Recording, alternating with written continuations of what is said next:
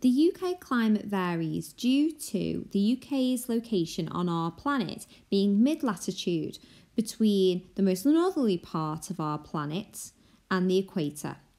If we were then to take a UK map and split it into four regions or sections, we would find that the northeast of the UK experiences cold winters and cool summers, whereas compared to the southeast of the UK, we receive cold winters and warm summers.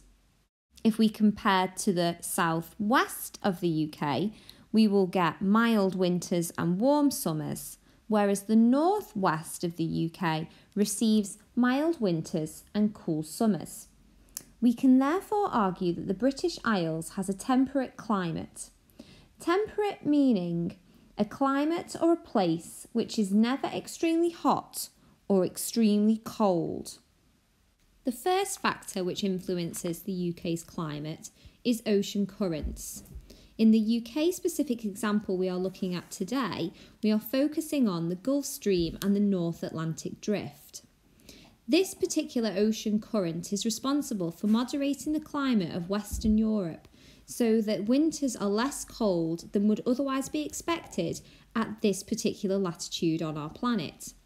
Without the warm North Atlantic drift, the UK and other places in Europe would be as cold as Canada at the same latitude.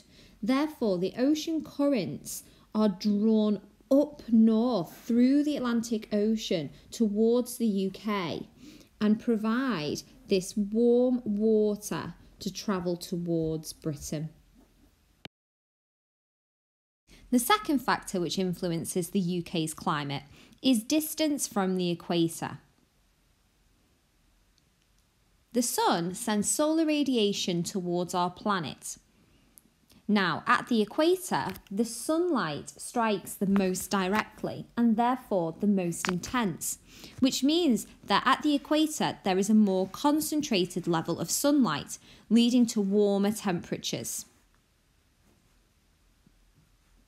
At 30 degrees north and 30 degrees south of the equator, we will receive a less direct amount of sunlight. Whereas at 60 degrees north and 60 degrees south of our planet, there is a low angle of incoming sunlight, which means that temperatures are lower, and this is where we will experience Arctic tundra and the polar biomes.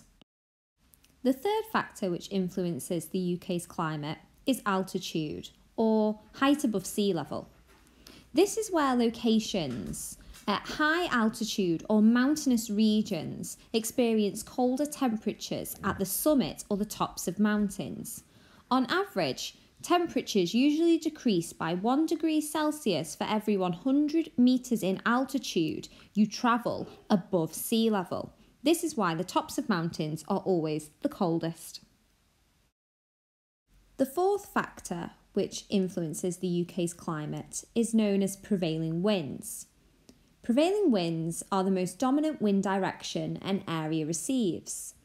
The temperature of the wind and the amount of precipitation partly depends on where the air has originally travelled from. If we are then to look at the air and see where it originates, this will help us explain the characteristics of our weather.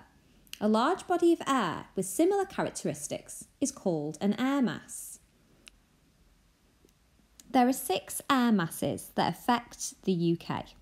The first being the Arctic Maritime Air Mass. Maritime meaning travelling over a body of water. This particular air mass travels from the Arctic. It is wet, cold air which brings snow in winter. Another air mass is the polar continental air mass, which travels over land. It travels from Central Europe. When this air mass is hot, it brings dry summers. But when the air mass is cold, it brings snow in winter.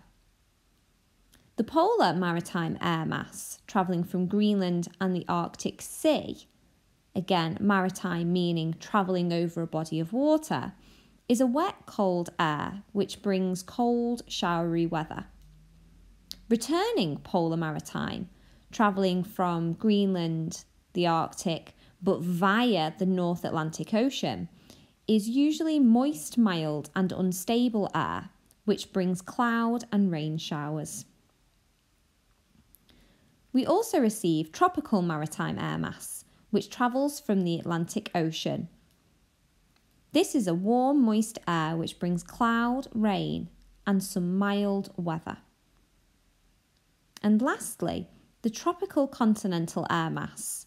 Again, continental as it is travelling over land, and in this case, travelling from North Africa, is a hot, dry air which brings hot weather in summer. The fifth and final factor which influences the UK's climate is distance from the sea.